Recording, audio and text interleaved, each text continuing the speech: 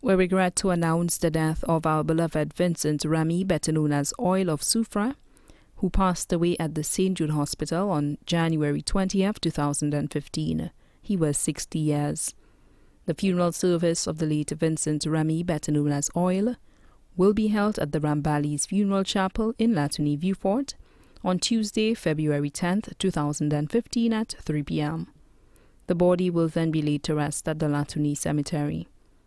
Please note, transportation will be available to transport persons to and from the funeral service and will be stationed at the Soufrière Square and will be leaving at 1.45 p.m. Bus driver Page will be traveling through Soufrière and bus driver Bonnie will be traveling through Belfort. The family would like to inform all well wishers that there will be no reception after the funeral service.